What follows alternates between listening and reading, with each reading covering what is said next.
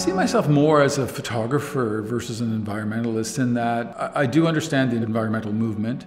But the work I wanted to do, I wanted to have it more open to reading. I wanted the meaning to be a more of a floating point so one can appreciate it as a work of art or one can see it as uh, an example of resource extraction or industry. I wanted to have many ways in which you could enter into the work.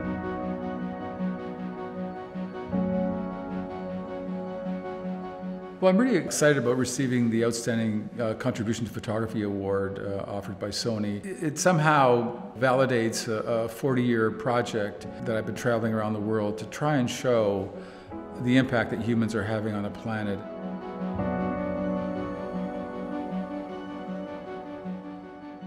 Actually, growing up, you know, in a blue-collar town, uh, St. Catharines, General Motors was the employer of that town. It's during that time that I got to see industry firsthand as a young child. I think as I went through photography school and wanted to think of, well, where do I, you know, focus my camera? I thought that looking at industry and looking where things come from and going to those places where our resources are extracted would be something that would be interesting for me.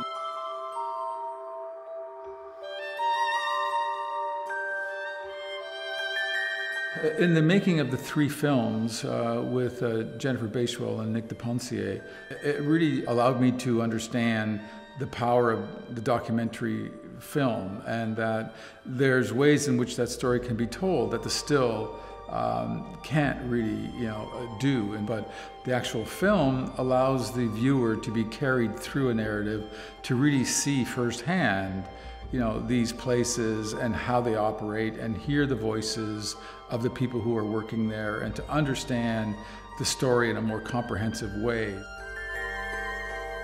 I'm delighted that Ed Burtynsky has uh, been chosen for this prize. Uh, I suspect that experts would say um, he won it because he's a photographer's photographer. Uh, he's simply the best at his craft.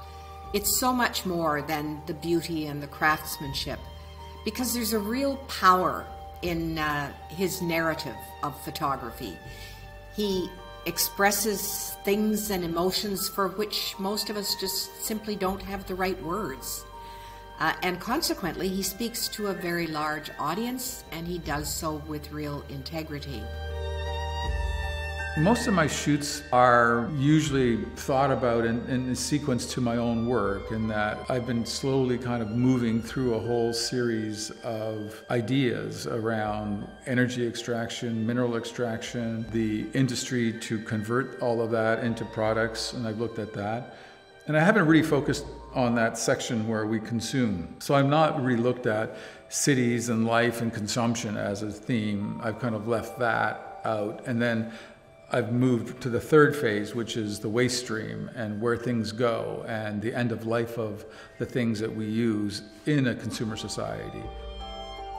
It is political. It, it, it provokes us into thinking about what we're actually doing and why we're doing it and what the ripple effects of it are on this planet that we're living on. And it, it insists on reconsideration of our behavior and our values and um, I deeply appreciate that, that your work has essentially been an advocate for us to pay attention to the damage that we're doing to this, to this planet that we live on. His work is, uh, for the last uh, 25, 30 years, has been outstanding.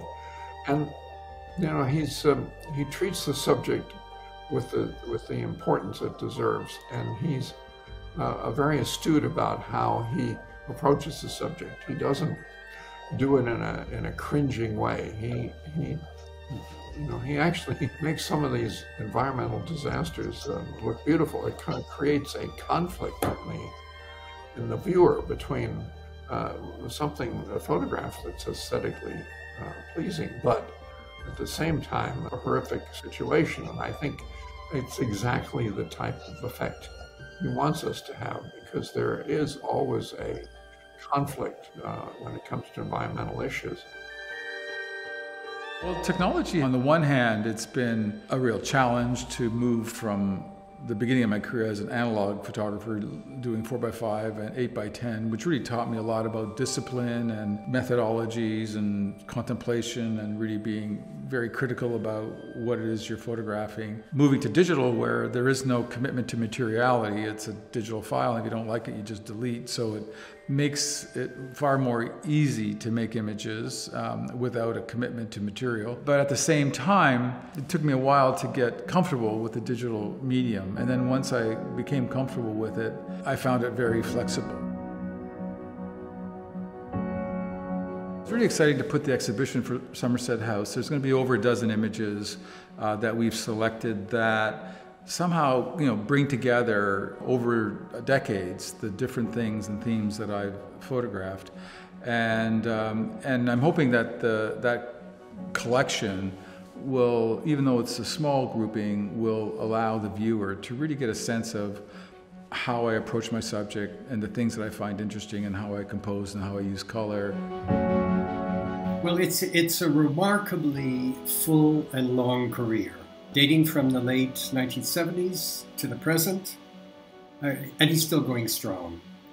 Uh, there's a long list of individual projects, all extremely well conceived, executed, and completed, and all hang together aesthetically, uh, conceptually, and they together they come into what what we often call an oeuvre, which is sometimes with photographers, it's a little, it's a word which is a little pretentious.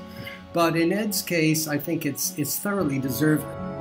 What I'm trying to show is the fact that we are in a overreach as a, as a species. We've gone too far, and all of these things speak to, in a way, a lament of a loss of nature, that our success has pushed back biodiversity. At the same time, you know, to show it to you in a way that has an aesthetic that allows you to enter those worlds and to really contemplate them. Edward, this is a magnificent uh, award, and you more than deserve it. I think the world needs to both see and to hear the real insights you bring. Can't wait to see what more uh, comes to us through your lens. Congratulations. All the best.